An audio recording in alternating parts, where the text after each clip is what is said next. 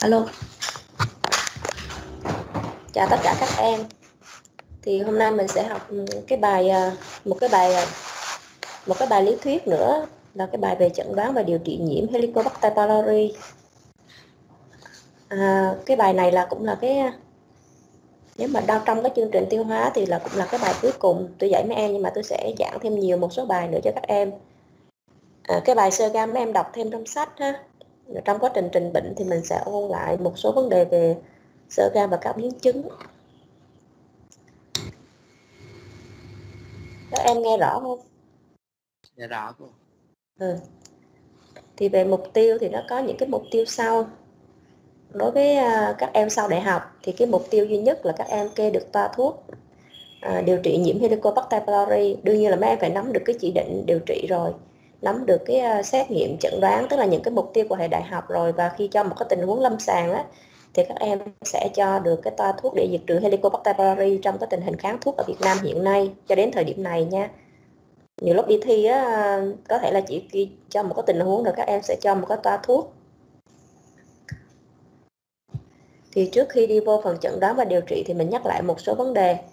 Thì đây là cái tần suất nhiễm Helicobacter pylori ở châu Á trong đó thì Việt Nam mình là một trong những cái nước có tần suất nhiễm cao nhất chỉ sau nước uh, Nam Triều Tiên hoặc là Nhật Bản thôi. Với cái tần suất nhiễm của mình là trên à, khoảng 70% nhiễm Helicobacter pylori. Và trong đó cái incident rate incident rate tức là tỷ lệ uh, ung thư trên 1.000 người á uh, là tỷ lệ của mình cũng cao nhất ha. Cũng cao nhất cũng chỉ sau Nhật Bản và Nam Triều Tiên thôi à, và mình cũng đã biết là cái Helicobacter pylori đó là một cái yếu tố nguy cơ gây ung thư giống như là thuốc lá mà gây ung thư phổi vậy đó. Và người ta có một cái câu là gọi là no Helicobacter pylori thì no cancer. Có nghĩa cái vai trò của nó đối với ung thư dạ dày nó rất là dữ dội ha. Thành ra những cái nước mà có cái à, có cái tần suất nhiễm cao và cái nguy cơ với ung thư nó cao như Nhật Bản thì gần như người ta tầm soát tất cả các à, người dân của người ta người ta tầm soát và ta diệt trừ Helicobacter pylori nếu nó dương tính hết. Nhưng mà đa số thì mình có những cái chỉ định chứ không phải là tất cả những người nhiễm Helicobacter pylori thì đều phải à, điều trị tiệt trừ. Về đây là cái diễn tiến tự nhiên của nhiễm Helicobacter pylori à, khi nhiễm khi nhiễm thì thường là khi nhiễm cấp xong rồi qua nhiễm mãn tính á. Thì tùy cái vị trí của cái Helicobacter pylori nó nằm ở vị trí nào á mà nó có thể gây ra những cái bệnh cảnh lâm sàng khác nhau. À, nếu nó nằm chủ yếu ở vùng mà hang vị ha, thì nó sẽ gây ra tăng tiết axit. À, nó sẽ gây tăng tiết axit và nó sẽ gây loét dạ dày. Theo thời gian ha thường thường là thường thường là đa số là bị nhiễm từ nhỏ rồi ha, sẽ gây ra loét dạ dày. Hoặc là nó không có triệu chứng gì hết ha, hoặc là nó không có triệu chứng gì hết hoặc nó gây tăng tiết axit và gây ra loét dạ dày.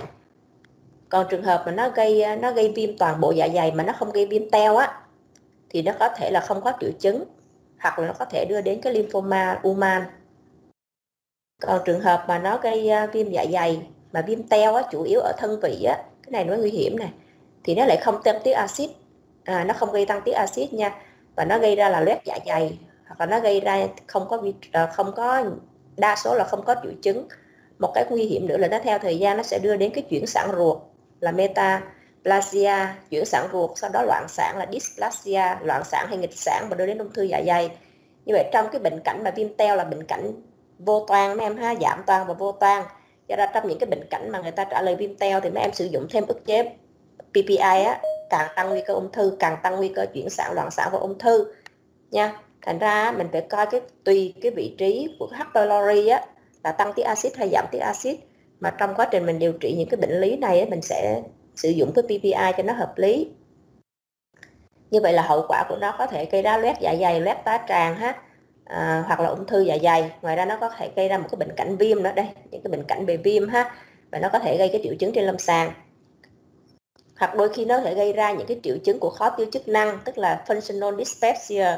Nó có những cái triệu chứng như là triệu chứng đóng thượng vị có hai hội chứng là hội chứng đau thượng vị nó có triệu chứng y như là viêm loét vậy đó hoặc là hội chứng khó chịu sau ăn nó có cái triệu chứng là đầy bụng khó tiêu hoặc là triệu chứng là mầm no sớm. À, nhưng mà khi mình nội soi thì mình không thấy cái sang thương ở trên dạ dày hoặc là mấy em chỉ thấy những cái sang thương không điển hình ví dụ như sung huyết dạ dày thường là sung huyết coi như là bình thường. À, sung huyết hoặc phù nề nhẹ vân vân thì coi như là bình thường thì đó là gọi là khó tiêu chức năng. Thì cái vai trò của Helicobacter pylori á nó có một cái vai trò gây triệu chứng do đó trong cái khó tiêu chức năng mấy em cũng thấy trong những bước tiếp cận đầu tiên á, là cũng là tầm soát sau đó diệt trừ Helicobacter pylori ha. Thì tùy một số định nghĩa ví dụ như theo Maastricht á, à, thì á, nó coi à, à, theo một số hướng dẫn trên thế giới ví dụ theo Rome 4 đi thì á, nó lại coi là cái khó tiêu chức năng nếu mà có nhiễm Helicobacter pylori á, thì không gọi là khó tiêu chức năng.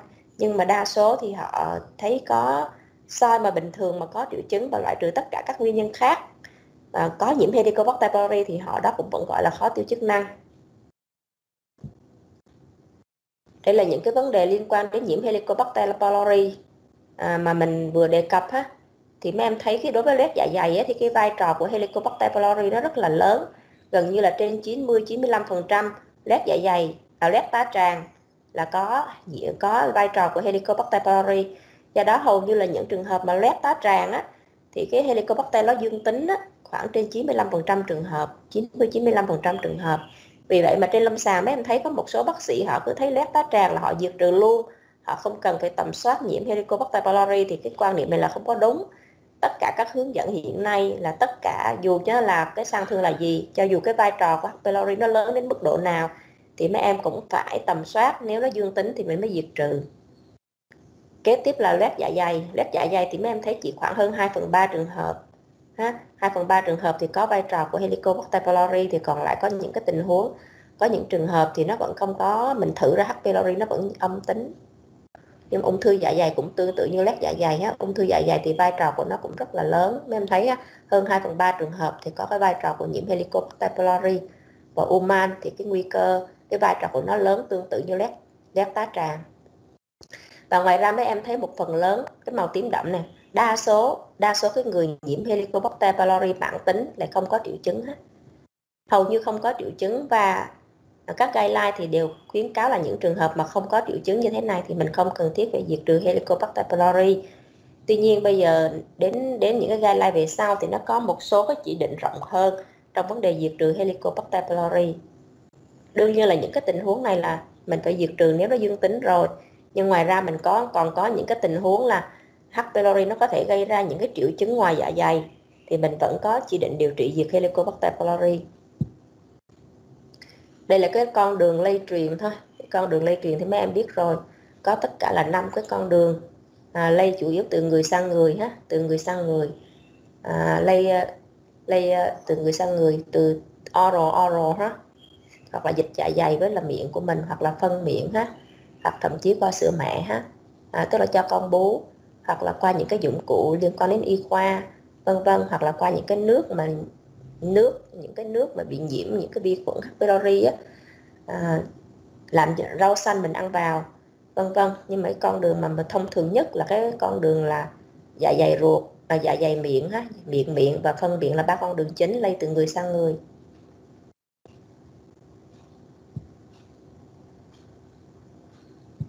Về cái xét nghiệm về xét nghiệm để chẩn đoán nhiễm Helicobacter pylori á thì mình chia ra làm hai nhóm một cái nhóm mà mà phải à, không phải nội soi và một cái nhóm nội soi. Cái nhóm mà không cần thiết phải nội soi á thì là người ta gọi là không xâm nhập ha còn những cái nhóm xét nghiệm nào mà em phải nội soi dạ dày thì gọi là xét nghiệm xâm nhập. À, cái nhóm xét nghiệm không có nội soi như huyết thanh huyết thanh chẩn đoán test hơi thở urea test hoặc là xét nghiệm kháng nguyên trong phân còn nhóm mà không nội soi thì mình có cái test urea nhanh hay là test hơi thở đó. À, test urea nhanh hay là clot test của mình đó hoặc là mô học hoặc là cấy. Thì à, cái đây là cái độ nhạy và độ đặc hiệu. Thì huyết thanh chẩn đoán hiện nay thì một số một số cái guideline hiện nay họ không có khuyến cáo sử dụng cái huyết thanh chẩn đoán nữa tại vì cái độ đặc hiệu nó không có cao thôi mà trong cái huyết thanh chẩn đoán này thì nó có IgA, IgG và IgM thì hiện nay mình chỉ làm cái IgG thôi IgA và IgM thì không có giá trị trong vấn đề chẩn đoán nhiễm Helicobacter pylori. Thì đây cái là một cái xét nghiệm trong những cái tình huống mà bất đắc dĩ mà em không thể làm được những cái test khác. Những cái test đánh giá active giai đoạn hoạt động của Helicobacter pylori thì em mới làm test này thôi. Và cái test này chỉ làm dùng để chẩn đoán thôi chứ không dùng để xác nhận tình trạng diệt trừ thành công. Tức là sau đó diệt trừ thành công mấy em muốn kiểm tra xem bệnh nhân đã hết nhiễm Helicobacter pylori hay chưa thì mấy em sẽ không có dùng cái test này nữa. Vì đây là kháng thể nó có thể tồn tại ở trong máu của bệnh nhân à, kéo dài ha kéo dài đến hai ba năm do đó mà mình không có dùng cái test này nữa. Để chẩn đoán xác nhận not for confirming eradication ha. Cái test hơi thở là cái test được nay được khuyến cáo sử dụng nhiều nhất em thấy độ nhạy độ đặc hiệu rất là cao. Kháng nguyên trong phân kháng nguyên trong phân độ nhạy độ đặc hiệu rất là cao nhưng chỉ có một cái bất tiện là cái kháng nguyên trong phân á, thì mình lấy phân khá là phiền phức thôi. Chứ hiện nay cái kháng nguyên trong phân cũng được khuyến cáo sử dụng. À, nhưng mà trong các xét nghiệm của các phòng xét nghiệm hiện nay á, thì đa số họ làm cái urea breath test nhiều hơn là người ta làm kháng nguyên trong phân. Kháng nguyên trong phân chỉ có một số cơ sở y tế hiện nay còn làm thôi. Đối với nội soi những cái trường hợp mà bệnh nhân mà có chỉ định phải nội soi á thì mấy em phải làm cái uh, luôn cái clot test thì cái tên chung của nó là rapid urea test. Thì nó trả lời trong vòng khoảng một giờ đồng hồ ha. Thì thường thường người ta khuyên nên lấy mẫu hai nơi hoặc là một lấy mẫu ở vùng hang vị mà một ở thân vị. Ít nhất là hai mẫu ở hang vị và thân vị. Thì mình thấy có độ nhạy và độ đặc hiệu rất là cao. Đối với những tình huống mà mình phải sinh thiết cái mẫu sang thiết sang thương mình phải sinh thiết á có chỉ định sinh thiết ví dụ như tiền ung thư hoặc là mình sinh thiết mình nghi ngờ viêm teo hoặc là chuyển sản loạn sản á thì mấy em cũng phải sinh thiết ở hai nơi ha. Thì mình những trường hợp này độ đặc hiệu uh, rất là cao trên 95 và độ chuyên biệt cũng rất là cao. Còn cấy thì đương nhiên là tiêu chuẩn vàng rồi thành ra độ đặc hiệu là 100% và cấy chỉ áp dụng cho những tình huống mà mình điều trị diệt Helicobacter pylori ít nhất là hai phát đồ mà thất bại. Thì mình phải làm kháng sinh đồ để mình hướng dẫn điều trị thì lúc đó mấy em mới cấy. Như vậy là cái chỉ định đầu tiên để chẩn đoán nhiễm Helicobacter pylori mấy em có thể làm là huyết thanh chẩn đoán. À, cái này thì sao? Trong dấu dấu sao thôi ha. Một số guideline họ không khuyến cáo. Đặc biệt là trẻ con á, thì đa số người ta khuyến cáo phải soi và cấy nha mấy em. Cái hướng dẫn của trẻ con á test hơi thở kháng nguyên trong phân urea rapid urea test là ba cái được khuyến cáo. Còn histology với cấy thì tùy từng tình huống ha. À, đối với huyết thanh chẩn đoán H. pylori thì mình xác định trong những trường hợp nhiễm mãn mình chỉ làm IgG nhớ là chỉ làm IgG không sử dụng IgM và IgA ha. hiện nay thì ờ, một số cơ sở y tế thì có làm thêm cái SIM tức là CIM tức là current infection marker để dùng để đánh giá cái tình trạng active của H. pylori nhưng mà cái này chưa được đưa vào các guideline đương nhiên thì nó sẽ có cái đánh giá cái tình trạng nhiễm H. pylori gần đây vì current current là gần đây ha, infection marker. Thì hiện cái cái cái CME này có làm ở bệnh viện Đại học Y Dược và có làm ở phòng khám trường Đại học Y khoa Phạm Ngọc Thạch. À, thì dù sao thì nó cũng còn tốt hơn là mấy em chỉ làm IgG đơn thuần. Và cái IgG đơn thuần này có thể gặp trong những trường hợp dương giả nữa. Thành ra trong những cái tình huống mấy em phải điều trị mà sử dụng thuốc mà mình có thể thấy là ảnh hưởng rất là nhiều đến bệnh nhân về tác dụng phụ vân vân thì mấy em đến làm những cái test nó chuyên biệt hơn ví dụ như urea breath test tức là test hơi test hơi thở ha. Thì nó có một cái lợi điểm đối với cái test ờ, uh, huyết thanh chẩn đoán ở chỗ là nó không bị ảnh hưởng bởi tải lượng virus. Tải lượng vi trùng nếu mà tải lượng vi trùng có thấp hay cao gì nó không không bị ảnh hưởng. Trong khi trong những trường hợp mà mấy em làm test hơi thở hoặc mấy em làm clo test á, thì nó sẽ bị ảnh hưởng đến cái tải lượng vi khuẩn nếu cái tải lượng vi khuẩn nó thấp hoặc mấy em bấm ở cái mẫu mà vị trí ở đó vi khuẩn nó rất là ít á, thì hầu như có thể nó là âm tính giả. À, ví dụ mấy em sử dụng PPI kéo dài nó gây viêm teo rồi mà mấy em chỉ bấm ở vùng hang vị thôi. Lúc này vi trùng nó di chuyển lên trên thân vị rồi mình không bấm một mẫu ở trên thân vị thì mình sẽ trả lời là âm giả đó. Nên nhớ khi làm clo test thường là mình phải bấu hạt người ta khuyến cáo mình phải bấm hai mẫu một mẫu ở hang vị và một mẫu ở thân vị. Và một cái lợi điểm của serology huyết thanh chẩn đoán, đó là ví dụ bệnh nhân có đang sử dụng kháng sinh, bệnh nhân có đang sử dụng thuốc kháng tiết PPI ức chế thực thể H2 đang đang có loét chảy máu, đang có viêm teo hoặc đang có ung thư thì đều không bị ảnh hưởng, không gây tình trạng âm tính giả. Trong khi tất cả những test còn lại, trong những tình huống này, nó sẽ gây tình trạng âm tính giả nha mấy em. Âm tính giả, nhất là sử dụng kháng sinh, sử dụng thuốc kháng tiết và đau chảy máu thì nó sẽ gây tình trạng âm tính giả. Còn trong những trường hợp virus vi trùng H. pylori nó nằm ở vị trí thân vị nó gây viêm teo và ung thư á, thì mấy em bấm ở hang vị đôi khi nó sẽ âm tính giả. Một cái test à, cái test này là test nhanh urea hay là clot test hay là ure, ureprip test tức là test hơi thở đó.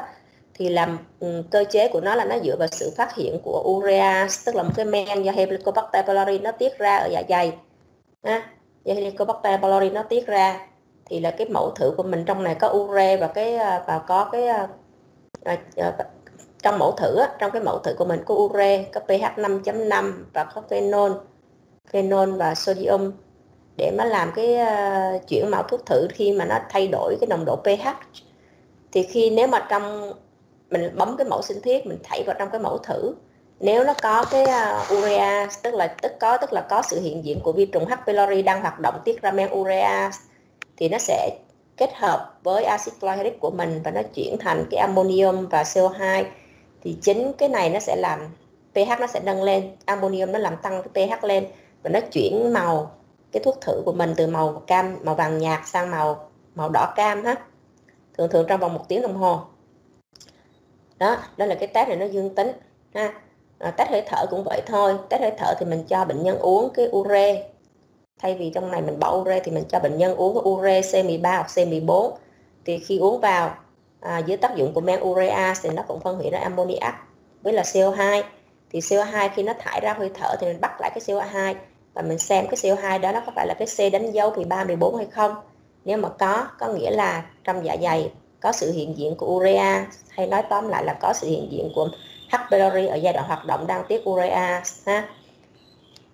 À, như vậy trong những cái tình huống nào mà nó làm con H. pylori này nó không hoạt động tức là nó không tiết ra men urea thì là thua thì em sẽ có âm tính giả đúng không ạ do đó mấy em phải biết những cái tình huống này là âm giả để mấy em có thể à, dặn dò bệnh nhân à, về chế độ uống thuốc như thế nào ngưng thuốc như thế nào trước khi làm cái test này hai cái test này đây là cái rapid urea test. Thì cái tên thông thường nhất mà em hay gặp là clot test, tức là viết tắt của chữ Campylobacter like Organization đó. còn cái, ngoài ra nó còn nhiều cái tên khác nữa, pyloric hoặc là pylori test vân vân. Thì cái này cơ chế của nó, cái tên chính xác của nó nó là một cái loại test rapid urea test, tức là test urea nhanh. Những trường hợp này là mình phải à, bấm cái mẫu, một cái mẫu thử sinh thiết ở à, dạ dày, ha, ở hai mẫu. Dặn lại mấy em là ít nhất là hai mẫu, ha thông thường đa số là mình chỉ bấm một mẫu ở hang vị thôi, thì mình sẽ bỏ sót những cái tình huống mà vi trùng nó nằm ở trên thân vị đó. Đây là những cái thuốc mà mình phải ngưng trước khi mình làm những cái test mà để mình phát hiện ra men urea. Đó. chỉ trừ cái serology này thì mấy em không phải ngưng cái gì hết, mấy em làm lúc nào cũng được thôi. Còn tất cả những cái phương pháp khác mà liên quan đến cái men urea hoặc là kháng nguyên trong phân hoặc là cấy, vân vân, tất cả đều phải ngưng thuốc. Thứ nhất là kháng sinh kháng sinh và bismuth em bổ sung thêm đây bismuth nha. Bismuth được xem là một loại kháng sinh luôn nhưng mà nó phải là kháng sinh thôi. Kháng sinh và bismuth ngưng tối thiểu 4 tuần lễ. Ngưng tối thiểu 4 tuần lễ. Thuốc ức chế bơm proton ngưng tối thiểu 2 tuần. Ức chế thụ thể H2 ngưng tối thiểu 7 ngày. Và antacid thì không cần ngưng. Như vậy là sao? Antacid sulfat pep, những cái pep xăng của mấy em nó không có cần thiết phải ngưng do đó trong cái thời gian mà mình ngưng để mình thử lại Helicobacter pylori á, nếu bệnh nhân có triệu chứng thì mấy em có thể cho uống những cái antacid, hoặc sulfat hoặc vân vân, ha. Nên mình vẫn có thể cho những cái thuốc nào mà nó không phải là kháng sinh, không phải là ức chế bơm proton, không phải là bismuth. Tới cái thời gian tối thiểu như vậy, để tránh trường hợp âm giả nha. Và trong những trường hợp mà mới đang xuất huyết tiêu hóa hoặc là mới xuất huyết tiêu hóa trong vòng 2-3 tuần nay thì mấy em vẫn có thể có tình trạng âm tính giả. Do đó trong những trường hợp xuất huyết tiêu hóa, nếu mình thử ra dương tính thì coi như là dương tính có nhiễm Helicobacter pylori nhưng nếu nó là âm tính ha, thì coi chừng nó là âm giả. Sau đó mình phải thử lại. Và cái Maastricht 5 Maastricht 5 tức là mà một cái một cái guideline, một cái consensus mà do các các nhà khoa học trên thế giới của rất là nhiều nước, chủ yếu là ở châu Âu tập trung lại và họ đưa ra cái à, Maastricht 5 này, năm 2017 là mới nhất về hướng dẫn trong vấn đề chẩn đoán và điều trị nhiễm Helicobacter pylori. Đây là cái à, cái cái consensus nổi tiếng nhất hiện nay mà đa số là mình sẽ áp dụng theo cái consensus này để mình điều trị tại vì những cái hướng dẫn của bộ y tế của mình thì nó rất là xưa và nó đã out of date rồi, nó đã quá rồi cũ rồi, nó không còn phù hợp với cái tình trạng kháng thuốc hiện nay nữa thì ở đây cũng nhắc lại mấy em thôi, tức là PPI phải ngưng, ha? Nên ngưng tối thiểu là ít nhất là hai tuần lễ. Ngưng tối thiểu là hai tuần lễ. Rồi, mất tiêu cái bài rồi. Nên đợi chút xíu.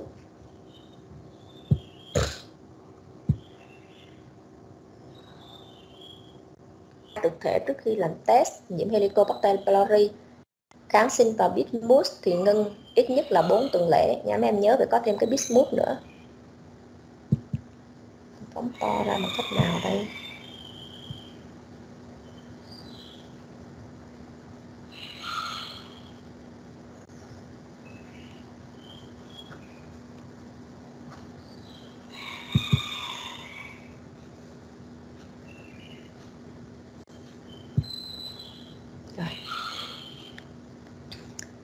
Trong những cái uh, trong thực hành lâm sàng thì khi nào mà em em có chỉ định về nội soi và không có chỉ định về sinh thiết tức là không có chống chỉ định sinh thiết thì lúc đó mình làm clot test hoặc là test urea nhanh đó thì được khuyến cáo như là test chẩn đoán đầu tiên tức là những cái tình huống nào mà em phải chỉ định nội soi thông thường đó là những trường hợp mà bệnh nhân có cái có dấu hiệu báo động á mình phải nội soi ha.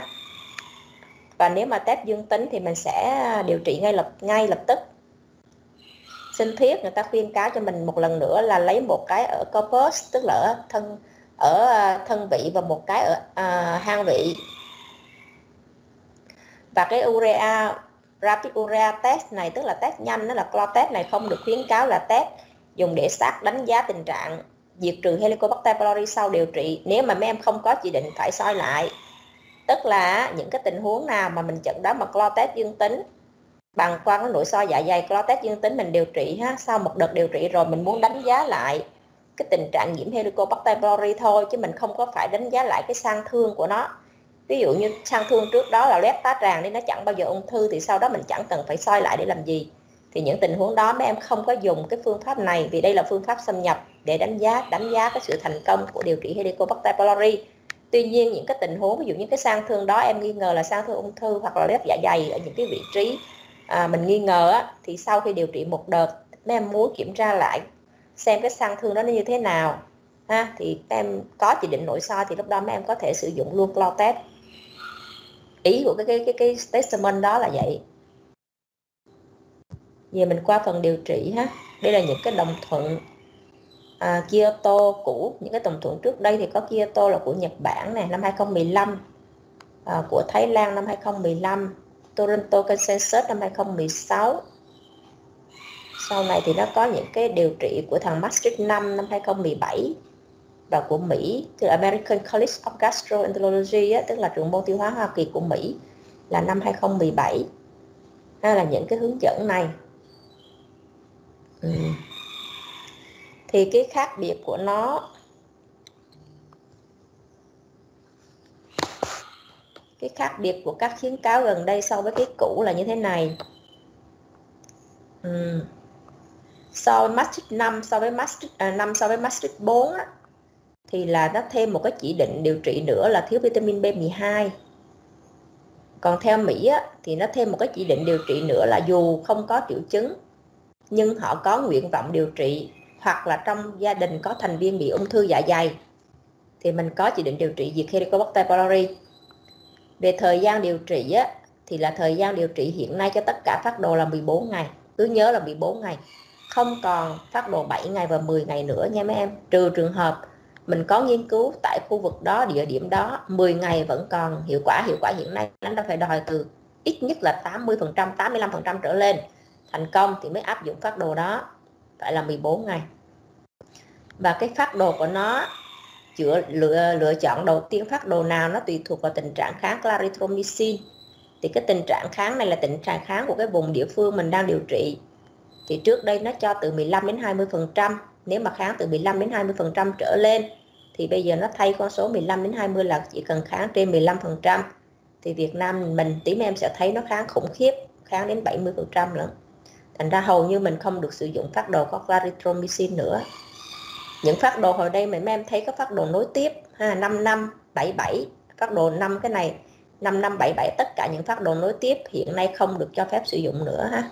Cả cả Matrix, cả Toronto và cả ecg hiện nay là không sử dụng phát đồ nối tiếp nữa. Và ngoài ra nó có thêm một cái phát đồ, nó có thêm một cái phát đồ nữa là phát đồ à, ba thuốc có levo cộng thêm bismuth, là hay còn gọi là phát đồ bốn thuốc có levofloxacin thì phát đồ này hiện đang được khuyến cáo của Maastricht 5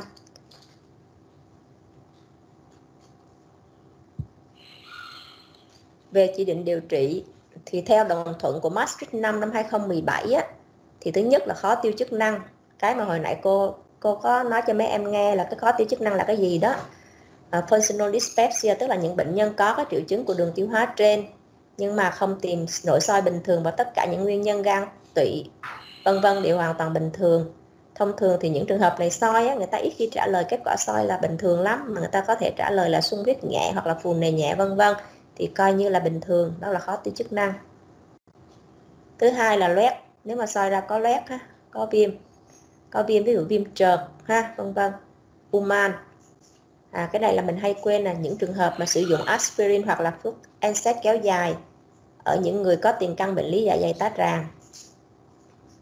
Những người mà phải sử dụng aspirin hoặc NSAID kéo dài ha mà có triệu chứng có bệnh lý dạ dày thì mấy em phải tầm soát và diệt trừ Helicobacter pylori vì hiện nay hai yếu tố nguy cơ gây loét dạ dày đứng hàng đầu là NSAID và nhiễm Helicobacter pylori.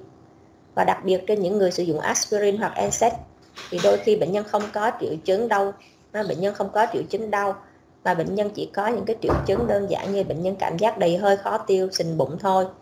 Thường là bệnh nhân sẽ đến bệnh viện vì cái tắc, vì cái biến chứng của nó là xuất huyết tiêu hóa, do loét hoặc là ói, hoặc là đi cầu phân đen những bệnh nhân mà phải sử dụng thuốc ức chế bơm proton kéo dài kéo dài ở đây là từ 3 tháng trở lên ha, từ 8 đến 12 tuần trở lên. Tức là những cái trường hợp mà gợt và phải điều trị PPI kéo dài. Những trường hợp mấy em phải sử dụng PPI để phòng ngừa các biến chứng của loét do NSAID, aspirin vân vân ha, những cái trường hợp mà phải sử dụng PPI kéo dài thì bắt buộc mấy em phải tầm soát và diệt trừ Helicobacter pylori. Vì những trường hợp mà sử dụng PPI kéo dài nó sẽ gây ra hiện tượng vô toan ha và H. Pylori nó sẽ di chuyển từ thang vị đi lên thân vị và nó gây ra tình trạng viêm teo giảm toan viêm teo loạn sản chuyển sản và ung thư. Do đó mình phải tầm soát và diệt trừ để phòng ngừa ung thư. Những trường hợp thiếu máu thiếu sắt không rõ nguyên nhân thiếu vitamin B12 à, và trên lâm sàng đã có những tình huống mà thiếu máu thiếu sắt mình tìm không có ra nguyên nhân ăn uống vẫn bình thường không có mất máu ở đâu hết. Thì sau khi mình diệt trừ Helicobacter pylori rồi thì mình lại thấy bệnh nhân này phục hồi cái tình trạng thiếu máu thiếu sắt ITP, ban xuất huyết giảm tiểu cầu vô căn. Đây là những cái nguyên nhân ngoài dạ dày mà có vai trò của Helicobacter pylori đối với ACG năm 2017 thì mấy em có thêm một cái chỉ định điều trị nữa mà mấy em có thể áp dụng đối với những cái người mà họ có nguyện vọng điều trị. Hoặc là trong thành viên gia đình có người bị ung thư dạ dày. Ví dụ trong thành viên trong gia đình có người bị viêm teo loạn sản chuyển sản hoặc ung thư ha mà nếu mà mình không điều trị những cái người trong gia đình mà bị nhiễm á, thì cái nguy cơ mà tái nhiễm rất là cao nguy cơ mà bị nhiễm trở lại rất là cao. Và những cái người đấy khi họ bị nhiễm lại H. pylori thì cái nguy cơ mà ung thư dạ dày rất là cao. Tức là những người mà có nguy cơ ung thư dạ dày á, mà trong gia đình họ có những người nhiễm thì nên diệt luôn cho những người trong gia đình. Ví dụ vợ chồng này chứ mấy em cứ diệt diệt xong mà không giải quyết vợ thì cứ lây qua lây lại hoài. Thì nó kháng thuốc và hậu quả của nó rất là sau này mình điều trị nó rất là khó vì nó kháng thuốc còn những trường hợp mà trong gia đình không có cái ung thư dạ dày và họ cũng không có nguyện vọng điều trị gì hết ha mình soi ra chỉ cái viêm nhẹ hay gì thôi nếu à nếu mà không có triệu chứng gì hết. Và trong gia đình có người bị cái người bị nó chỉ có tình trạng viêm dạ dày nhẹ hay thì thôi thì tùy tùy người nhà có muốn điều trị hay không thì mình điều trị. Nhưng mà thông thường thì tôi cũng diệt luôn điều trị cho những người ví dụ như vợ chồng ấy, thì dễ bị lây lây nhiễm nhiều. Còn nếu trong gia đình á, mà có người nhiễm mà mình muốn phòng ngừa tái nhiễm thì em phải áp dụng thêm những cái phương tiện những cái cách thức phải hướng dẫn như người ta cách sinh hoạt ăn uống ngủ nghỉ làm sao mà để tránh lây nhiễm. Ít nhất là mọi người phải có một cái ly uống riêng ha. Thứ hai nữa là ít nhất là nói chung là trong uh, rửa sạch hoặc là mấy em uh, ờ, à, tráng nước sôi thì vi khuẩn nó có thể chết ha. Hoặc là ăn mồi thường thường ở người Việt Nam mình ăn uống chung á nhiều lúc ăn chung đặc biệt là mẹ mẹ hay ăn ờ, cơm thừa của con á ăn đồ ăn thừa của con á thành ra rất là dễ bị nhiễm. Vì em bé thường thường là cái nguồn lây cho gia đình do đó mình phải dặn bà mẹ là không nên ăn cơm thừa của con hết, chén đũa muỗng ly tách của ai người đó ăn. Và phải rửa thật sạch. Thường thường là thường thường ở nhà tôi hay mua cái máy rửa chén tại vì sau đó mấy em có mấy em có thể khử trùng được mấy em có thể sấy nóng để diệt vi khuẩn được.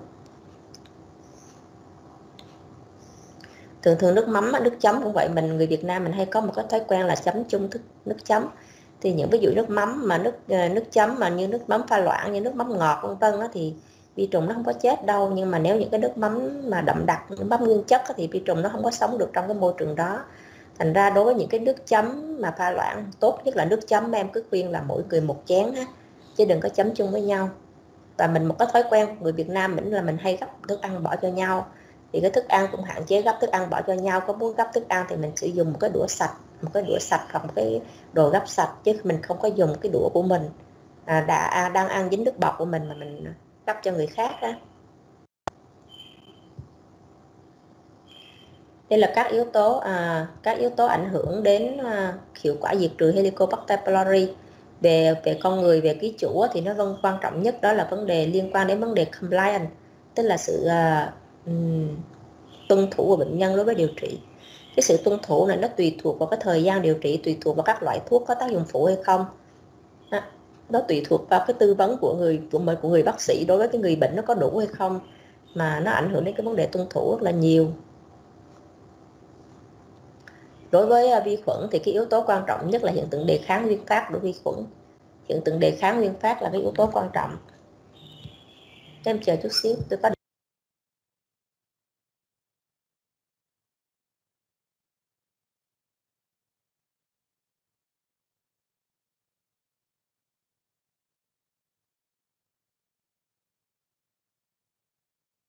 ý kiến tôi Tuấn ơi cái đó có chị giàu rồi. Nếu như mà các uh, bệnh nhân chuyển từ bệnh viện khác lên mà đã có kết quả PCR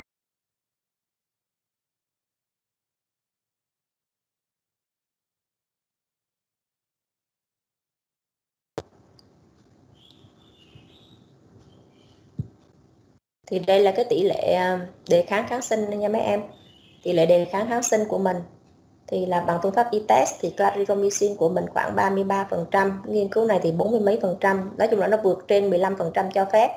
Coi như là cái vùng Việt Nam mình là cái vùng kháng clarithromycin rồi ha. Metronidazole của mình là nó mình đã gần 70%, gần như là 70%.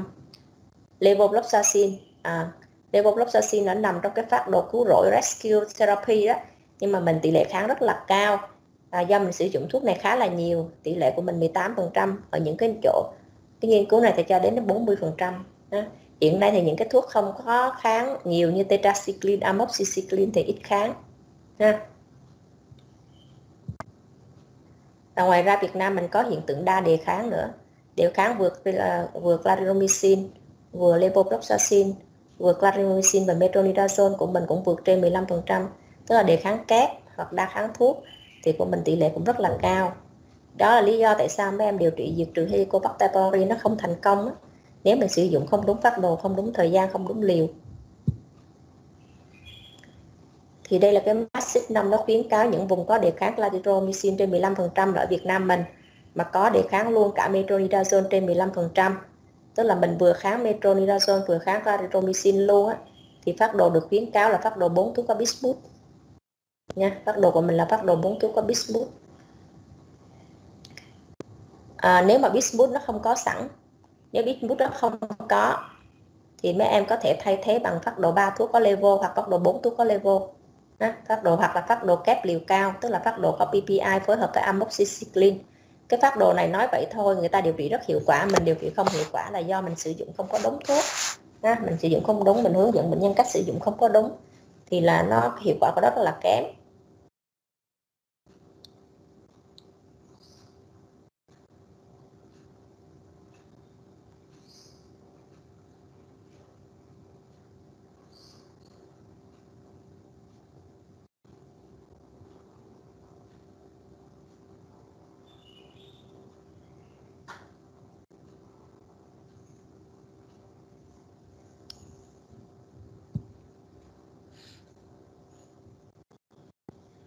Thì cái factor 4 thuốc có bismuth hiện nay á thì ra thì đâu nếu mà em mà nhìn các toa thuốc của bác sĩ kê toa thì mấy em sẽ thấy là cái thứ nhất là cái liều nó không có đúng cái liều nó không có đủ đặc biệt là liều metronidazole. Nên em nhớ là mình bị kháng metronidazole 70% do đó kháng metronidazole là kháng liên quan đến liều lượng. Đối với phát độ 4 thuốc có bismuth thì liều metronidazole á, tối thiểu á, là phải là một ngàn rưỡi mg nha mà thông thường á, vì cái tác dụng phụ của nó rất là nhiều hoặc là tinidazole thì mấy em sẽ thấy bác sĩ họ cho cái thuốc cái cái, cái liều chỉ có 1.000 mg thôi là không có đủ. À, đối với những cái phát đồ điều trị diệt Helicobacter pylori thì PPI của nó sẽ là liều chuẩn nhân hai lần một ngày. À, sẽ có một bài học về cách sử dụng PPI mấy em nhớ phải uống trước khi ăn 30 đến 60 phút bữa ăn đầu tiên và bữa ăn cuối cùng trong ngày nha uống trước khi ăn 30 đến 60 phút bữa ăn đầu tiên và cuối cùng trong ngày và dặn bệnh nhân là uống rồi phải ăn. Uống mà không ăn là thuốc cũng giảm tác dụng, hoặc là uống trong bữa ăn hoặc sau bữa ăn cũng mất tác dụng. Thì uống, ăn và ăn, trong thức ăn mình phải có chất đạm. Thứ hai là bismuth substrate uống 4 lần một ngày. Bismuth thì có nhiều loại, tí nữa tôi sẽ hướng dẫn mấy em các loại bismuth, thường là uống 4 lần một ngày.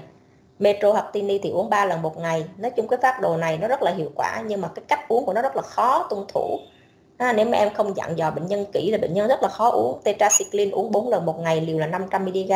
Tetracycline trong phát đồ 4 thuốc có bismuth bắt buộc phải uống 4 lần một ngày nha. Chứ không có uống hai lần một ngày hai viên nhân hai. Đây là cái liều cái liều của thằng Toronto nó hướng dẫn rất là kỹ này bismuth.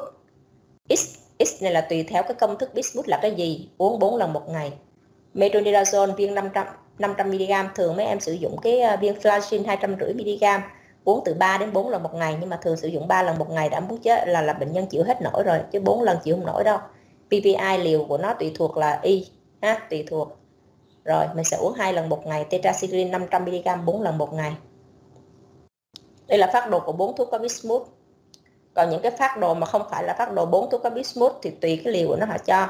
Những cái phát đồ khác, amoxicillin thì liều 1.000 mg hai lần clarithromycin 500 hai lần Levon 500 mg một lần một ngày. Metronidazole 500 hai lần. Những cái phát đồ khác có metro thì chỉ cần hai lần một ngày thôi. PPI thì vẫn như vậy. Rifabutin.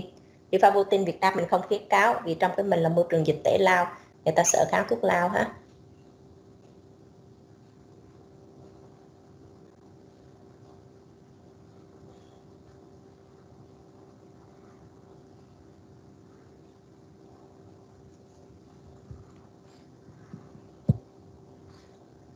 Đây bismuth thì có nhiều loại ví dụ như bismuth subsilicilat đo liều của nó là 260 mg mấy em có thể sử dụng hai viên nhân 4 lần. Colloidal bismuth substrate tức là trimo của mình á, cái viên trimo á, là viên 200 220 mg thì mấy em có thể sử dụng hai viên nhân 2 hoặc một viên nhân 4 thường là tôi sử dụng một viên nhân 4 cùng với tetracycline luôn.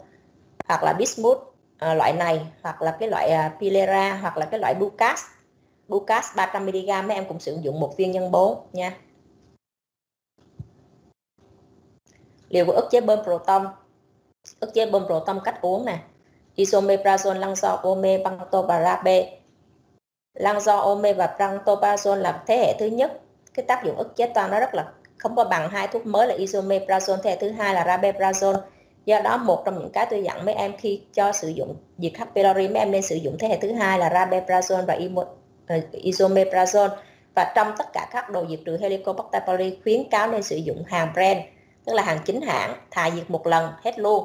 Còn hơn mấy em sử dụng những cái thuốc mà hàng Việt Nam hoặc là những cái hàng của Ấn Độ mấy em điều trị nó sẽ rất là khó hết, ha, tại vì cái hàm lượng nó không có đủ. Do đó rất là khó đối với những bệnh nhân mà bảo hiểm y tế. Thì những bảo hiểm nhân bảo hiểm y tế nếu dược một lần mà nó thất bại thì lần thứ hai khuyên người ta sử dụng hàng brand hết, tức là những cái thuốc ngoài bảo hiểm hết. Những cái thuốc chính hãng, ví dụ Isome thì nên xài Nexum Rabe nên xài Pariet ha, Levofloxacin thì tà Tabanic à, Bismuth thì chỉ có Trimo với Ducas thôi thì không nói. Nên xài những cái thuốc chính hãng hết thì mình mới có hy vọng diệt trừ thành công ngay lần đầu. Đối với isomeprazole thì người ta khuyến cáo chỉ cần 40 mg uống một lần một ngày thôi. Nhưng mấy em nên sử dụng hai lần một ngày ha? Hoặc là viên sử dụng 20 mg một viên nhân 2 mà thông thường tôi thường sử dụng là 40 mg một viên nhân 2 luôn. Mấy em nên nhớ ha? Trong cái phát đồ của mình ức chế toan càng mạnh bao nhiêu thì hiệu quả kháng sinh càng mạnh. Đó là tác dụng hiệp đồng do đó ức chế toan càng mạnh thì hiệu quả kháng sinh càng tăng lên. Do đó mà mình phải chọn những cái thuốc ức chế toan càng mạnh càng tốt, ha. Thành ra nếu sử dụng Nexum thì sử dụng luôn một viên nhân hai luôn. Thì nó sẽ tăng cái hiệu quả tiệt trừ của mình lên cỡ khoảng 5 đến 10 phần trăm. Thường là sử dụng hai loại ức chế toan mạnh nhất là isome và rabeprazole đây là phát đồ 3 thuốc có levo. Phát đồ 3 thuốc có levo có thể được khuyến cáo ngay ngay từ đầu ngay từ đầu nếu trường hợp mà không có bismuth hoặc là mấy em điều trị cho bệnh nhân mà em sợ cái tác dụng phụ nó quá nhiều uống 3 4 lần một ngày bệnh nhân không tuân thủ đặc biệt những cái người lớn tuổi có nhiều thuốc hoặc là những cái người mà mấy em biết cái khả năng khả năng chịu đựng kém á, thì mấy em sử dụng phát đồ bốn thuốc có bismuth nếu không dặn dò không kỹ á, thì hiệu quả bệnh nhân sẽ bỏ thuốc.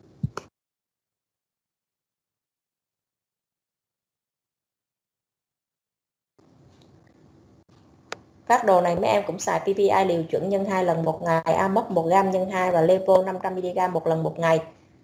À, một có một số hướng dẫn, có một số guideline. Mới thấy bác em thấy bác sĩ họ sử dụng Levo Bloxacin hai lần một ngày á thì họ thấy rằng là nếu sử dụng levo ngày một lần một ngày hay hai lần một ngày thì cái hiệu quả nó không tăng lên bao nhiêu hết nhưng cái giá tiền và tác dụng phụ tăng lên rất là nhiều. Ha mấy em sử sử dụng levo ngày hai lần một ngày bệnh nhân nhiều lúc đau cái gân cóp đau dữ lắm và họ lại tưởng họ bị thêm một cái bệnh khác nữa họ lại đi khám thêm bác sĩ đau, có những người họ đau chịu không có nổi luôn á. Thành ra cái level nếu mà đã xài thì mấy em xài hàng tốt, hàng tabonic luôn, một lần một ngày là được rồi, để bớt cái tác dụng phụ. Và phát đồ bốn thuốc có level, thì cái phát đồ y như vậy PPI AMOX có level, mấy em phối hợp thêm Bismuth. Thì Bismuth ở đây mấy em sử dụng luôn hai lần một ngày, ha. Cái phát đồ này thì sử dụng chỉ có hai lần một ngày, rất là dễ tuân thủ và ít tác dụng phụ. Thì hiện tôi có làm một số nghiên cứu về phát đồ bốn thuốc có level so sánh với phát đồ có ba thuốc có level thì cái hiệu quả nó hơn rất là nhiều. Cái phát đồ ba thuốc level của mình đa số bây giờ mấy em biết là nó kháng. Vì nó kháng cái level rất là cao, nó lên đến 18 thậm chí 40 phần trăm. Do đó cái phát đồ này mấy em, tỷ lệ thành công rất là thấp. Một số nghiên cứu ở Việt Nam mình thấy tỷ lệ thành công bây giờ cỡ khoảng 70 80 phần trăm thôi. Thành ra đối với những cái tình huống mấy em đã sử dụng ba thuốc này thì mấy em nên phối hợp thêm bismuth nữa. Cái bismuth nó có một cái tác dụng đồng đồng hiệp lực với kháng sinh. Và bismuth là một cái loại không bao giờ có hiện tượng đề kháng nó sẽ làm tăng hiệu quả của phát đồ ba thuốc có level lên và thành công nó có thể lên đến 90% và hiện nay thì hầu như những cái phát đồ mà đầu tay của tôi sẽ là phát đồ có bốn thuốc có level ba thuốc ờ, ở level cộng thêm bismuth. Vì cái phát đồ này thứ nhất được khuyến cáo có thể sử dụng ngay từ đầu mà nó lại rất là ít tác dụng phụ và ít phải sử dụng 4 lần một ngày, ha. Mình có thể sử dụng 4 thuốc có bismuth với điều kiện là bệnh nhân tuân thủ tốt và bệnh nhân này có khả năng chịu đựng được những cái tác dụng phụ à, hoặc là mấy em chọn phát đồ này bốn thuốc có bismuth bốn thuốc ờ, uh, level có uh, thuốc Lego cộng thêm bismuth thì nó ít tác dụng phụ hơn. Nhưng mà thành ra đây là một trong hai phát đồ đầu tay của tôi khi tôi điều trị cho bệnh nhân. Một cái phát đồ nữa mà trong cái matrix có đề cập đến là phát đồ hydrodual therapy HDDT phát đồ này thì rabeprazole sử dụng 4 lần amox sử dụng 4 lần trường hợp mấy em không có amoxicillin liều 250 mg, tức là sử dụng 3 nhân 3 viên nhân 4 lần thì mấy em sử dụng đô 500 mg. 500 mg liều của nó sẽ là 2 viên nhân 4 tức là 1000 mg nhân 4 lần một ngày. Và mấy em phải uống cách nhau ít nhất là 5 tiếng đồng hồ nha. Uống 4 lần, ăn 4 lần trong một ngày. Và uống một cái là trước khi ăn 30 đến 4 60 phút trước ăn và một cái uống ngay sau khi ăn. Tuyệt đối không được phối hợp thêm probiotic, không phối hợp thêm bất cứ thuốc gì thuốc gì khác. Và cách uống ít nhất là 5 đến 6 tiếng trong 14 ngày thì phát đồ này á, ở trên thế giới thì cái hiệu quả của nó khoảng 85 90 95 phần trăm. Nhưng ở Việt Nam mình mình làm thấy cái cái hiệu quả của nó rất là thấp. Thứ nhất mà em sử dụng rabeprazole không phải chính hãng. Thứ hai là amoxicillin của mình cũng là hàng Việt Nam thôi. Cũng không có ấy. Với thứ ba nữa mà em hay phối hợp với probiotic nó sẽ làm giảm cái hiệu giảm cái AUC của amoxicillin. Hầu như mình sử dụng phát đồ amox liều cao này mình cứ sợ là tác dụng phụ là tiêu chảy. Nhưng mà hầu như là tác dụng phụ rất là ít nha. Và sau khi ngưng thuốc thì bệnh nhân sẽ hết tiêu chảy thôi à, trong trường hợp mà mấy em không còn phát đồ nào sử dụng nữa thì mấy em có thể sử dụng phát đồ này. Mà phải cẩn thận và chia giờ ra cho bệnh nhân nha. Còn nếu mấy em không chia giờ ra uống không đúng thì nó không có hiệu quả đâu. Đây là những cái tuyên bố trong Maastricht thời gian điều trị phát đồ. 4 thuốc có bismuth kéo dài 14 ngày nhớ nha em 14 ngày. Tất cả những phát đồ khác cũng là 14 ngày. Khi thất bại với phát đồ 4 thuốc có bismuth nó khuyến cáo đầu tay vẫn là 4 thuốc có bismuth nếu thất bại thì em sẽ chuyển ra phát đồ 3 hay 4 thuốc có fluoroquinolone tức là 3 hay 4 thuốc có levofloxacin nha. Nhưng mà những cái vùng mà có kháng quinolone ví dụ như Việt Nam của mình vùng này kháng với quinolone thì mình nên kết hợp với bismuth mình nên kết hợp tức là mình sử dụng phát đồ 4 thuốc có bismuth uh, à, fluoroquinolone trong đó có bismuth hoặc là sử dụng những cái phát đồ khác ví dụ rifabutin thì rifabutin ở Việt Nam mình cũng không được khuyến cáo. Sau khi thất bại bốn, phát đồ 4 thuốc không có bismuth, trong những phát đồ mem có sử dụng phát đồ gì trước đó không biết, mà nếu nó thất bại thì bước kế tiếp phải là bốn, phát đồ 4 thuốc có bismuth, hoặc là phát đồ 3 hay 4 thuốc có fluoroquinolone. Ví dụ bệnh nhân đến với mình, họ sử dụng phát đồ 3 thuốc có clarithromycin thất bại. Mình biết chắc là thất bại thì mình sử dụng 4 thuốc có bismuth hoặc là 3 hay 4 thuốc có fluoroquinolone. Khi mem em thất bại hai phát đồ thường là em thất bại luôn phát đồ 4 thuốc có bismuth. Thất bại luôn phát đồ 3 hay 4 thuốc có bismuth. Uh, fluoroquinolone mà có bismuth. Thì mấy em sẽ cho cấy và làm kháng sinh đồ. Và khi cấy kháng sinh đồ ra thì mình sẽ điều trị như thế này. Luôn luôn có PPI luôn luôn có bismuth nha. Luôn luôn có PPI và bismuth cộng thêm hai cái kháng sinh mà nhạy cảm. Với điều kiện là hai kháng sinh này là hai kháng sinh trước đây bệnh nhân chưa sử dụng và được chứng minh là có nhạy. Tóm lại như vậy cho nó dễ nhớ. Ở cái vùng của mình là vùng kháng clarithromycin và metronidazole. Thành ra bệnh nhân đến với mình lần đầu tiên. Lần đầu tiên, ha, thì mình sử dụng phát đồ 4 thuốc có bismuth nếu người đó chịu đựng được tác dụng phụ tuân thủ tốt, mình đánh giá. Còn nếu bệnh nhân này mình nhắm là cái tôi tác dụng phụ nó, nếu nó nhiều quá, bệnh nhân có thể là không tuân thủ, thì mình sẽ sử dụng phát đồ 3 hay 4 thuốc có levo. Mà tôi khuyến cáo mấy em sử dụng 4 thuốc có levo, tức là 3 thuốc cộng thêm bismuth vì cái tỷ lệ kháng levofloxacin của mình rất là cao hoặc mấy em sử dụng phát đồ kép liều cao theo khuyến cáo. Nhưng cái phát đồ kép liều cao này em phải cẩn thận cái cách uống nha. Và hiệu quả ở Việt Nam mình thì những cái nghiên cứu nó không có cao bằng phát đồ 4 thuốc có level rồi hoặc là bệnh nhân đến với mình. Trước đó là uống thuốc gì tôi không cần biết. Uống 3 thuốc có level 4 thuốc có level mà không đủ liều không đủ thời gian. À, mình cũng bắt đầu trở lại bằng 4 thuốc có bismuth. Nếu trước đó chưa sử dụng cho dù trước đó bệnh nhân sử dụng phát đồ 4 thuốc có bismuth nhưng mà em thấy uống thuốc không đủ thời gian. 10 ngày thôi, hoặc là liều metronidazole không đủ, chỉ có 1.000 mg thôi, thì mấy em cũng phải bắt đầu lại bằng bốn thuốc có bismuth, hoặc là levo, bốn thuốc có levo, nếu trước đó chưa sử dụng. Trường hợp mà thất bại cả hai phát đồ của mình là bốn thuốc có bismuth cộng với bốn thuốc có levo, ha, thì lúc đó mấy em phải cấy làm kháng sinh đồ. Nha, mấy em phải làm cấy làm kháng sinh đồ nếu thất bại. Như vậy hiện nay mấy em chỉ có mấy phát đồ thôi, chỉ nhất chỉ có phát đồ bốn thuốc có bismuth phát độ 3 thuốc có levo hoặc là 4 thuốc có levo và phát độ kép liều cao thôi. Thì phát đồ nối tiếp không được sử dụng nữa rồi. Những cái phát đồ kia nó không được khuyến cáo trên những những cái vùng kháng trên kháng kháng claritro và metronidazole trên 15% rồi. À, còn nếu mà thất bại hết thì mình chỉ còn kế kháng sinh đồ. Thì hiện nay theo theo như những cái nghiên cứu của tôi về nghiên cứu về H. pylori tôi nghiên cứu khá là nhiều á thì hầu như cái phát đồ 4 thuốc có bismuth nếu sử dụng đúng thuốc đúng liều bệnh nhân tuân thủ thì thành công của nó là phải đến 8 98 99 phần trăm tuân thủ á, bệnh nhân gần như thành công hoàn toàn. Và thông thường á, khi mình sử dụng phát đồ có bốn thuốc levo á tức là levo amox với PPI cộng với bismuth á, mà bệnh nhân thất bại á thất bại của nó khoảng 10 phần trăm 10 15 phần trăm. Thì khi bệnh nhân chuyển qua phát đồ 4 thuốc có bismuth á, thì họ tuân thủ rất là tốt. Lý do là họ thất bại một lần rồi họ rất là sợ thành ra họ tuân thủ khá là tốt. Rồi coi như là xong. Đây là những cái câu hỏi tự đường giá thêm cho mấy em thôi. Rồi. Coi như cái bài này xong, mấy em có thắc mắc à rồi xong nữa, còn có đoạn sau. Tức là sau khi mình điều trị thành, điều trị 14 ngày rồi, bây giờ nhà điều trị thành xong 14 ngày rồi thì tùy cái bệnh lý của nó mà mình có thể ngưng thuốc cho đủ. Ít nhất là ngưng thuốc một tháng, tại vì mình đang xài kháng sinh, mình phải ngưng thuốc một tháng. Rồi sau đó mình sẽ đánh giá lại tình trạng nhiễm Helicobacter pylori có đã lành hay chưa, đúng không? Là bằng test hơi thở hoặc là làm clo test nếu bệnh nhân có chỉ định xoay lại chứ không dùng kháng, không dùng cái huyết thanh chẩn đoán nữa. Còn nếu bệnh nhân này là điều trị gợt mình sẽ học bài gợt sau. Nếu là bệnh nhân này là gợt thì thời gian điều trị tối thiểu là 8 đến 12 tuần. Thì sau khi diệt trừ Helicobacter pylori xong thì mấy em vẫn tiếp tục cho đủ phát độ 8 đến 12 tuần. Sau đó mấy em sẽ ngưng cái PPI 2 tuần. Ngưng PPI 2 tuần, trong thời gian ngưng PPI mình vẫn duy trì những cái thuốc khác. Sau khi ngưng PPI 2 tuần, ít nhất 2 tuần thì mấy em có thể làm test hơi thở hoặc là hoặc là clo test để đánh giá tình trạng có thành công chưa? Bắt buộc tất cả bệnh nhân sau khi diệt trừ Helicobacter pylori là phải đánh giá xem nó đã thành công hay chưa. Nha, rất là nhiều cái sai lầm hiện nay là gì? Thứ nhất, chỉ định không đúng. Thứ hai, sử dụng thuốc không đúng. Thứ ba, liều không đủ. Thứ bốn, thời gian không đủ. Thứ năm, không có tư vấn cho bệnh nhân cách sử dụng thuốc. Không biết cái nào trước ăn sau ăn, không biết gì hết. Thứ sáu là sau khi điều trị xong, cũng không thèm làm xem bệnh nhân đã thành công hay chưa nữa đã điều trị thành công hay chưa nữa đó là những cái cái mà mấy em hay hay gặp hay bị sai lầm trong khi trong quá trình điều trị. Tất cả những cái tình huống viêm teo chuyển sản loạn sản là hoặc là gia đình có tiền căn ung thư dạ dày là cực kỳ quan trọng bắt buộc phải diệt trừ cho thành công H. pylori. À, bắt buộc phải thành công.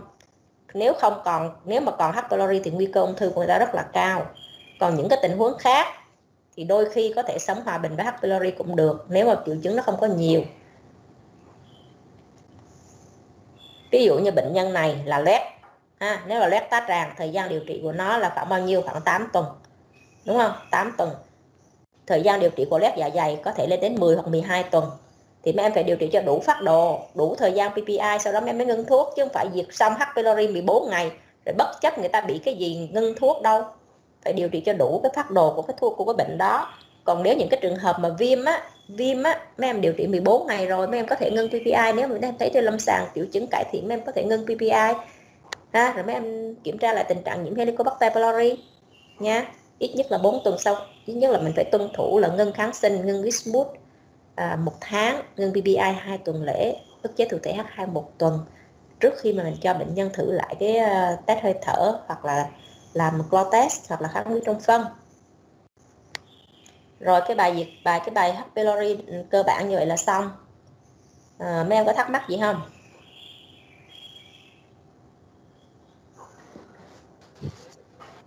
À, dạ cô ơi. Ừ. Nói dạ đi. cô cho em hỏi trên à, thực tế thì à, khám bệnh nhân á, có những bệnh nhân vô thường để tăng ngưng đủ cái thời gian kháng sinh 4 tuần là rất là khó thì thì cái đó mình phải làm sao? làm bắt buộc phải ngưng kháng sinh im trước 4 tuần. Tại vì nếu nó ra dương tính thì là có dương tính thật nhưng mà nếu nó ra âm tính là âm giả. Tốn tiền bệnh nhân em nhớ là một cái test hơi thở của mình nó là phải đến bảy tám trăm. Bây giờ nó trả lời cho em là âm tính. Rồi sao? Em không biết là âm thật hay âm giả chết không? Có gì đâu mà khó. Dạ.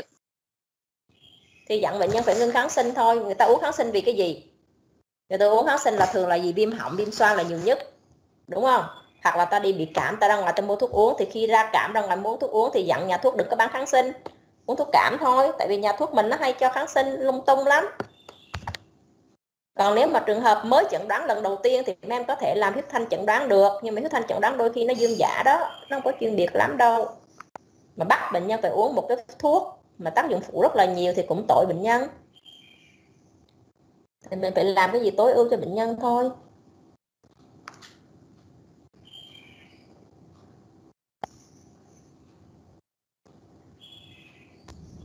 Dạ alo cô cho em hỏi.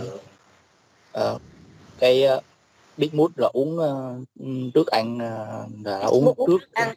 trước cái cái BBI là sau cái BBI cô? Uống cùng lúc với BBI được mà. Mood uống trước ăn là tốt nhất. Uống sau ăn cũng được nhưng mà thường nó khuyên uống trước ăn mà biscuit nhớ dặn là khi uống là nó làm cái lưỡi mình màu đen với cái phân nó mình màu đen đó nha cho bệnh nhân khỏi phải sợ. Vậy trong cái trường hợp mà mình uống bút bốn lần thì chỉ có một lần mình uống ngoài cái cái cái bữa ăn vì ăn có ba lần trên ngày thì thì cái lần đó mình uống có cần cách thuốc kháng sinh gì không hay là uống uống không được? Bismuth trong phát đồ 4 thuốc có bismuth mới uống 4 lần. Còn cái phát đồ khác uống có hai lần thôi. Trong phát đồ 4 thuốc có bismuth rồi cũng có tetra 4 là 4 lần là bismuth 4 lần thì 4 phải 4 cử ăn trước khi đi ngủ uống ăn một bữa ăn nhẹ nữa rồi uống. Dạ. Yeah.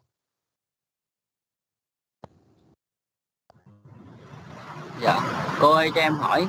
Ờ, cô hồi nãy cô nói là cái kháng sinh đó cô là uống sau khi ăn hả cô? Cái cái trong phát đồ điều trị HB tất cả kháng sinh uống sau ăn. À. như uh, em hỏi cái uh, bitmut này cô nó là thành phần có salicylat đó cô thì bệnh nhân mà có lét đó cô mà uh, trong HB nữa thì mình dùng luôn được không cô? Có bị gì đâu. Bismuth salicylat là công thức của nó chứ đâu phải là salicylat giống như cái kia đâu mà em sợ nó đâu có tác dụng phụ nó đâu có gây gì đâu. Alo dạ. Cô ơi cô cho em hỏi à, cái à, cái phát đồ bốn thuốc có level ofloxacin để mình sử dụng cái level sáng chiều được không cô? Level cô nói là mấy em sử dụng liều 500 mg hàng xịn tabanet ngày một viên thôi.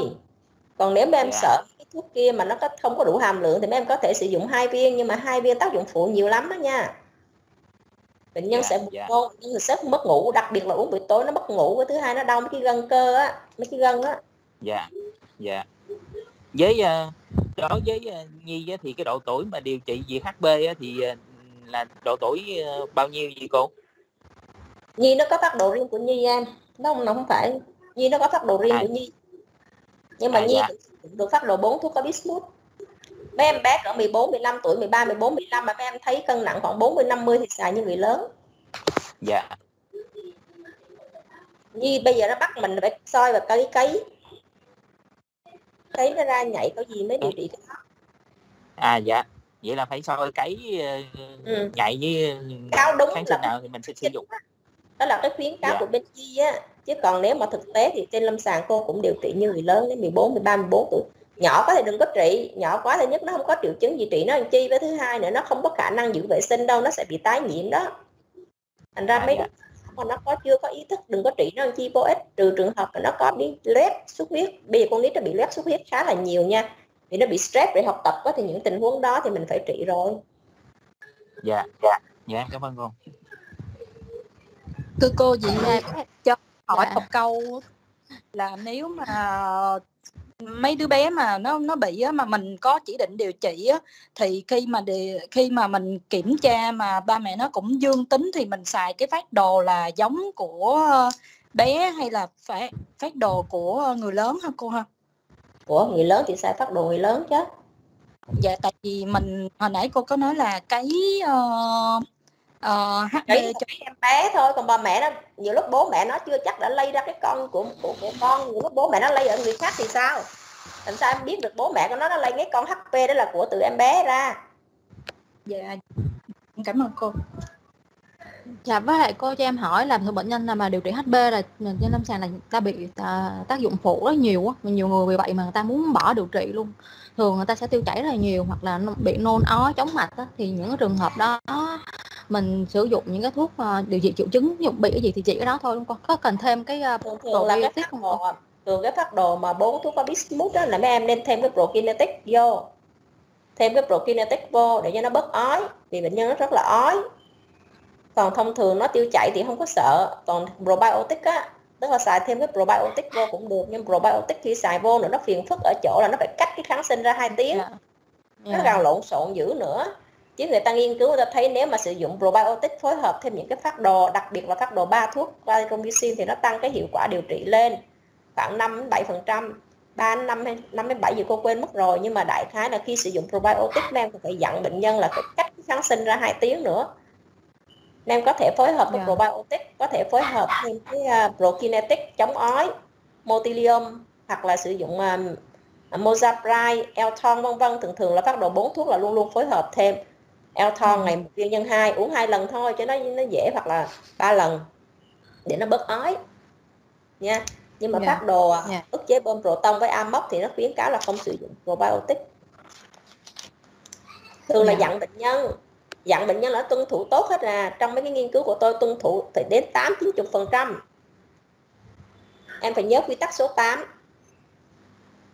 quy tắc số 8 là thời gian phải trên 80 để số lượng thuốc phải trên 80 phần trăm thì lúc đó cái hiệu quả mới còn hy vọng chứ còn nếu nó dưới là không còn hy vọng gì hết á với là bệnh nhân hay dạ. quên nha ví dụ em ghi một viên nhân hai rồi em ghi hai viên nhân hai thì lúc đọc uống uống rồi cuối cùng dư mất hai viên thuốc mấy viên thuốc nhiều lúc mình ghi hai viên nhân hai thì họ uống có một nhân hai thôi thành ra mình dạ. phải dặn rất là kỹ khi mình điều trị dạ. HP mình dặn rất là kỹ chứ thà điều trị một lần rồi nó hết còn hơn là cứ điều trị tới điều trị lui điều trị nhiều lần nó hết bệnh nhân họ sẽ bỏ mình họ đi chỗ khác thôi dạ. Dạ em cảm ơn cô. Dạ cô cho em hỏi là ví dụ như mà có một bệnh nhân người ta điều trị viêm xoang ở trước đó khoảng một hai ngày metro với lại amox rồi sau đó họ tới mình họ nội soi thì có hp dương tính thì mình sẽ làm sao ý là mình ngưng cái phát đồ trước đó điều trị. Mình điều trị theo phát đồ của mình.